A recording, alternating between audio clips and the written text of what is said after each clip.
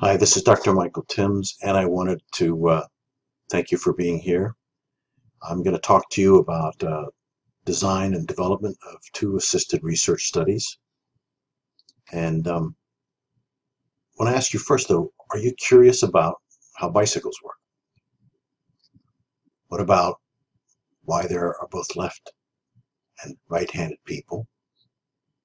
Or why yawning is contagious?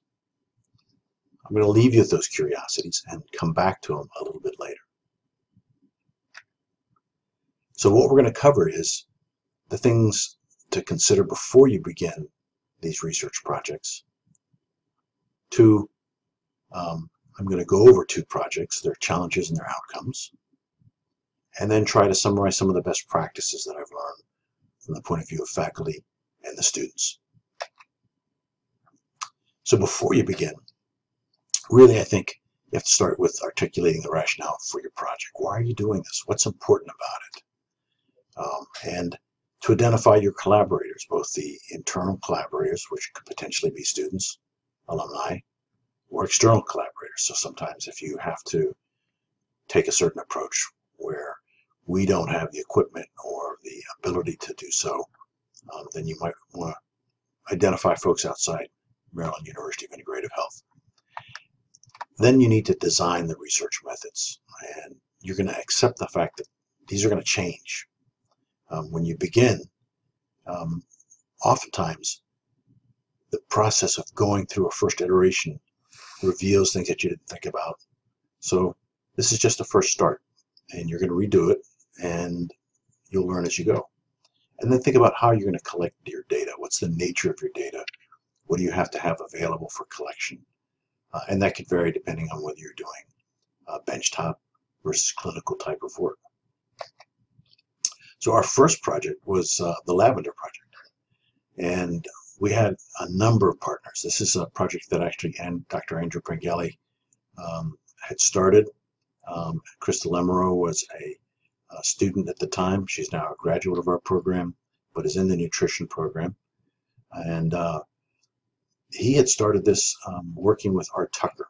Uh, Dr. Tucker um, was a, a, retired professor at Delaware State University. He and Andrew uh, had used methods that Dr. Tucker had developed, and we were writing a monograph for uh, the American Pharmacopoeia. And this was a, a, a textbook, microscopy textbook, that they were going to publish as a sister book to a previous publication, which was all on the use of microscopy to characterize botanical medicine. This one will be using microscopy methods to do so. So we had a, a good defined method to begin with. And this is really what we're looking at. We're looking at a, a descriptions of botanical characteristics of the uh, floral elements of lavender that you can see on the left. And in particular, what we're interested in are uh, this uh, fertile bract, which is right in the middle and it points to a brown-like leaf structure. And when we look at Lavandula augustifolia, or lavender, what we know as lavender, you can see in that image on the right, the BR is a bract, and the BL is a bracteole. And these are going to be important because these are characteristics that we'll use to compare and define species. Because there's an additional species out in the marketplace, Lavandula latifolia or spike, and the cross or the intermediate between those two, the latifolia and the augustifolia, um, which is lavandin. And this is the one that finds its way into commerce as an adulterant. And you can see, again, the bracts and the bracteoles. Now the method, as defined by Tucker in the citation you see below, um, was using bract length and width ratios and you can see those provide a range 0.83 to 2.20 um, and the fact that the bracteoles are either absent or a certain length and we compare them to the potential adulterant uh, but you can see there is actually a little bit of overlay between uh, the intermedia and the augustifolia so as it turns out this is the equipment we needed. And pretty simple pretty straightforward and this was an alumni-led process, working with uh, students in our QA course. the thing that turns out oftentimes in biological research is it refuses to cooperate with us. Just the ratios themselves, uh, there's a, enough overlap that you really have to get a sample size high enough to begin to tease out some of those differences. Um, the other thing that occurred is if we go back to these images, the bracteole, so if we look at this in this region, you have to have a whole bract present. And you have to know what it looks like and what the orientation can be. Because remember, we're getting bags of these uh, plant products from a distributor. They've already been processed. Things are broken, potentially not whole. And the second part of that is the, that defining orientation and appearance for what a complete bract is. When we started doing that, we started to get more consistent ratios that could then be compared. We ran into uh, another problem, which is the supplier began to clean up the bracts through their processing. Now all of a sudden, you're not getting the very needed elements that we could use to define is this the lavender that we want or is this an adulterant? So in our second year, we had to actually uh, develop what's called an orthogonal method or sensory analysis to identify adulterants. Uh, by orthogonal methods, these are methods that um, aren't uh, exactly like each other. They provide uh, very different data. And so we looked at the known essential oil constituents that help define those two different species and began to uh, train uh, our panelists in the QA course to identify them by smelling lavender, Lavandula augustifolia as a whole extract, the spike as a whole extract, um, aging lavender, so that degradation of some of those compounds uh, would train the nose to pick those up, and then specific essential oils that tend to be more predominant in one species over another. And this really helped in terms of being able to, one, effectively use the method, but also through educational processes, and this includes the identification of what bracts look like, their orientation, etc. What we're doing is ensuring that the findings in other QA labs will be replicable, that these methods for an educated um, lab tech person, um, they'll be able to come up with the same results on a consistent method. And so the, what we'll find now is as we complete this uh, paper with the educational structure as well as the methods and our findings. We're hoping now to submit that to a peer review as well as to the AHP, the American Herbalist Herbal Pharmacopoeia for their microscopy text. So that's the second piece is when you are doing this kind of research, always look for multiple marketplaces in the academic arena where you might share your findings. Uh, our second project was a microbiology project. And uh, for those of you that remember your microbiology, this will bring back potentially fond memories. I hope they do. Our partners in this project were uh, three graduates of our program, Joanne Givens, Nicole Rubin, Mary Beth Masenda. Joanne Givens um, is our incredible GMP compliance officer, worked on a Emerson grant to bring the dispensary into uh, GMP compliance, and these projects emerged out of that grant process. Nicole Rubin is our manager of the dispensary, and she also was a partner with Joanne in developing these GMPs for both the dispensary, but also in terms of training our students to understand GMP requirements in a manufacturing environment. Mary Beth Masenda uh, has sort of led our uh, e-portfolio and internship program, and she is very much involved in finding, placing students in internships with Joanne and with Nikki in the dispensary. Um, we had external partners, um, Dr. Gina Dubois and Dr. Angela Winslow, both at JIFSAN, Joint Institute of Food Safety and Nutrition. This is a partnership between the University of Maryland and the FDA uh, down at College Park. Um, Gina Dubois is the lab manager and Angela Winslow is the microbiologist. And what we did really is we looked to detect microbial contamination in several different echinacea tinctures. Um, the 45% um, alcohol uh, extract of Angustifolia and the 95% extract of Augustifolia, both root, were done in the dispensary. The 60% alcohol extract of E. purpurea seed, aerial, and Augustifolia root was a product by Gaia Herbs. And we wanted to look at different plant parts, different species, as well as different alcohol contents, because we have an example where in GMP environments, um, we need to test extracts, any product for microbial growth. Um, what we know is that 70% alcohol is used as an aseptic technique to kill microbes in the lab. But the data is lacking when it comes to how far down in concentration can we take the alcohol and still prevent microbial contamination.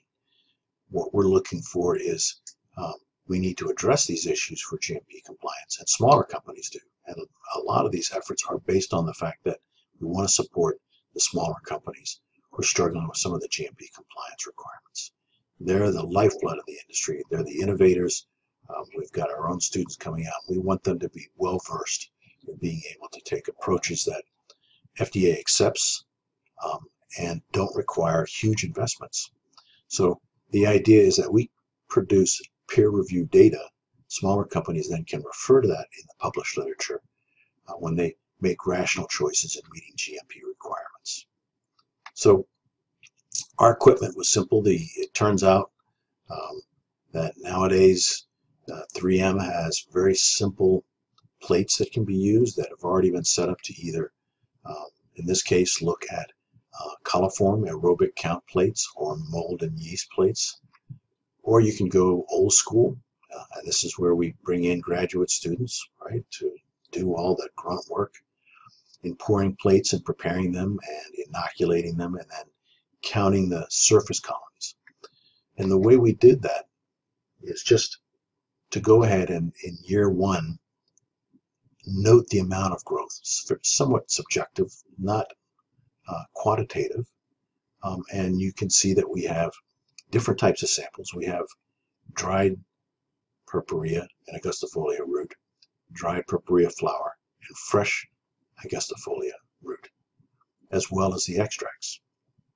And we were really sort of eyeballing and um, comparing the amount of growth that we saw in them. Um, and what turns out is that the um, the product where it was just the root or flower material without any alcohol, we tended to have higher growth there, particularly at their lower dilution rates. So 10 to the 1, 10 to the negative 2, 10 to the negative 3. Those are increasing dilutions, meaning there's less and less of the material present. Um, and obviously the fresh material had the greatest growth. And we can see that uh, for the most part, uh, there was very little growth in the 45 and 95 percent um, and a little bit of growth on the 25% fresh material.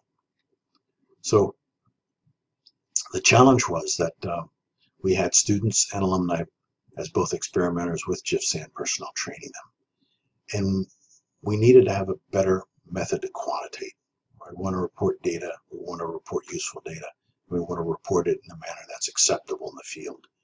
We also need to ensure better septic working conditions. In the JIFSAN labs, they uh, had been working on bench tops, not in hoods, which is traditional. A hood would be a contained space that allows egress uh, uh, for lab personnel with their hands, put their faces behind a, a plastic um, divider, and there's a negative airflow, so it prevents contaminants from getting in there.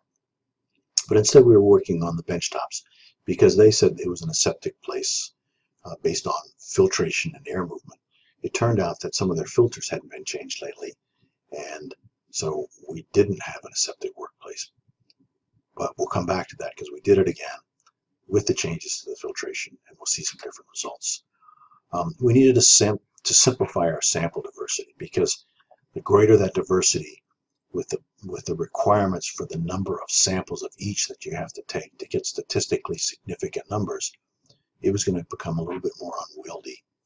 And the other thing that we needed to do was really improve um, the folks who were doing this methodology and producing the results had been trained well in aseptic techniques. Aseptic techniques being how do you handle the material in such a way that you're not introducing contaminants in breathing into it, in um, dropping material into it. Um, so there's a whole process that we uh, went through in our second attempt where we had much better training and we had better results because of that. So our approach to the quantifying was to look at this uh, method called serial dilution, which we saw we did uh, in the first one as well. But in this one, we really took it to the point where we could quantitate. So you can see that you have an initial sample. You take um, uh, 10 mils of that sample and you dilute it with 90 mils of an inert buffer. And as you keep doing that, you're getting smaller and smaller amounts of the original material. And when you put those on these petri dishes or plates, you can see in the first one, what we call the mother tincture, um, that the number of small dots or areas of growth, colony forming units, are much greater than can be counted accurately. Uh, in that second dilution, that is uh, an accurate count plate. Um, there's a certain level of colony forming units at which you uh, say uh, it's countable, or if it falls below that at a certain dilution level, um, even though it might be present, it's still reported as zero. And this is the simple math for those of you that are math geeks and want to follow up on that. Uh, remember, if you want to do that, pause the video. And um, these are some of the results. So most of the growth came from the 60 and 95% preparations, but all were below the accountable number of 10 at a certain dilution rate. So there's the left-hand side, the mold plate, the petri dish, and the aerobic plate. Uh, these are all, uh, these are 10 to the negative 1, 10 to the negative 1, 10 to the negative 2 in dilutions. So we would report those as zero. Now our plans for the third year is in discussing um, aseptic conditions with Dr. Angela Winslow at JIFSAN. She noted that uh, there is a process for using Bunsen burners to create a sterile air column. If we are in the dispensary or someone is in a small business, if they can create a, a sterile workplace, a, a bench top, and they can use a Bunsen burner to create a, a sterile columnar space, they use proper aseptic techniques and they work within the confines of that space, we should be able to do the microbiology in a very simple manner. So we're going to repeat those processes using a Bunsen burner both at JIFSAN and at the dispensary.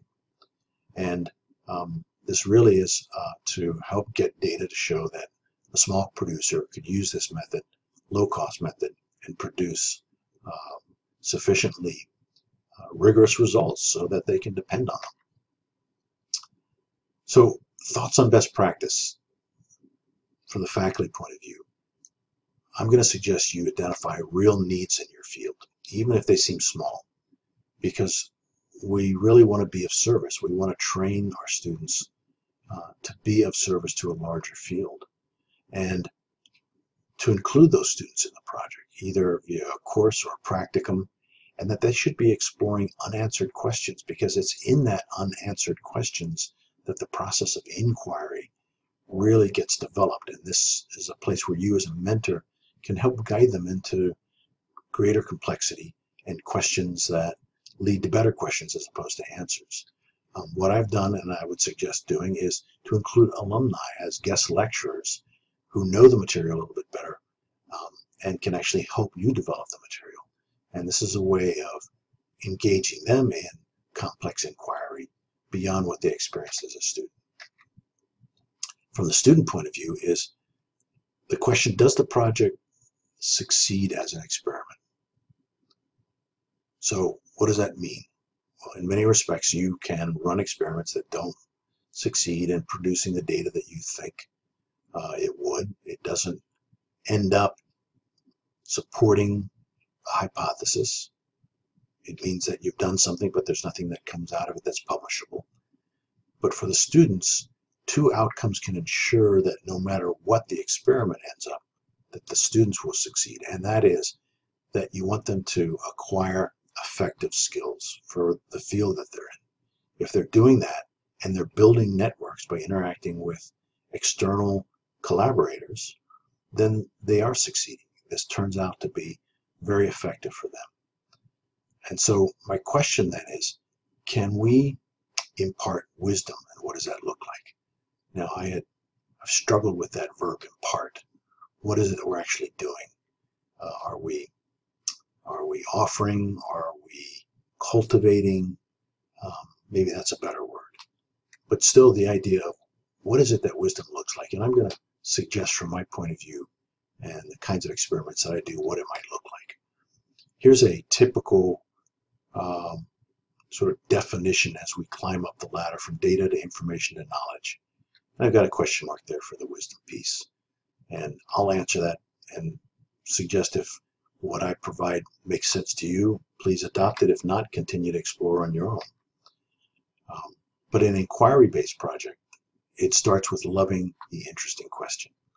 Inquiry is about the refinement of questions so that you can work off of what others have left behind, provide additional data to help move the field, and ideally, more interesting questions for others to pick up to build off of what you did. Secondly, I'm going to suggest that what you do with your students is encourage them to follow their curiosity into their discomfort. Originally, I'd use the word fear here, and some people thought, well, that might turn off students. But really, what we're saying is inquiry can lead to discomfort because it's usually complex data. It's messy data if you're dealing with biology in any form. And you have to be able to accept the fact that there's going to be some discomfort associated with that process. But to put more weight on that spark of curiosity that brought you there in the first place and allow that to be the light that takes you into that darkness of unknowing and discomfort. And I'll ask you this what if there are no answers? Let's go back to those first three questions. It turns out these three questions have not been answered. Originally, they thought they had answers for all of them, and it turns out they're not sufficient. So, if there are no answers, will your questioning still be fun? I think you have to model that as faculty and students. You need to engage in that. That the attempt to answer questions in and of itself is play, and it's a wonderful way to engage the mind. And it's a talent and a skill that'll see you into a number of different opportunities. And finally, with that play, risk delight. Simple delight at the process, at what you're finding out, trying to structure the process so that you can get answers that are definable and that can be offered and presented in a, in a forum of your peers. So I'll leave you with this. This is a plant Monotropa uniflora, or ghost pipe. It's a mycoparasite, meaning it does not produce its own chlorophyll. You can see that it uh, lacks that green color. It taps into the mycorrhizal network underground to get its sugars, things that would only be produced internally through the process of photosynthesis. And with that, it draws all kinds of secondary metabolites or phytochemicals that we can use as medicine. It's a plant that's in a very delicate environment. It can easily be destroyed. And so in some ways, although it's a wonderful medicine, um, particularly for pain, both physical and psychological, that that place where you are disembodied from your own self, from your own body. PTSD is an example of this. Um, this has been used oftentimes in old school concert where people were using hallucinogens and had lost contact with self to help guide them back. Uh, so it, it's really a wonderful medicine, but yet it's also a very, very delicate medicine. And so I'll leave you with this example of delight. This poem is entitled The World You See Is Not Your Own. Ghost pipe whispers like blood edging taut across the skin of my temple driving faded echoes up into forest elders. As they burst into canopy light, a dense mat of leaf decay gives way slowly to something approximating smoke, diffuse and ethereal beings that weave moments into memory, unravels story into that which waits outside me for her dusky breath, her brain stem sway. Keep this vertical space alive in your heart, open to the pulse of mycelial filament, stretched thin inside human voice. Stay connected. With that, I want to thank you. And I want to express my gratitude um, since this is a talk that was given as part of the um, research symposium and uh, for the award uh, from the Research and Scholarship Award Committee here. Um, for my mentors, Dr. George Bean and Dr. Joseph Betts, both uh, very different, but uh, both equally important in terms of my development as a scientist, as a thinker. And my collaborators, Dr. Andrew Pengelly, Dr. Arthur Tucker, uh, Krista Lamoureux, Joanne Gibbons, Nicole Rubin, um, the committee, and uh, the wonderful herb team. Uh, Herbies uh, were wonderful, and uh, I'm glad I'm part of them. Thank you.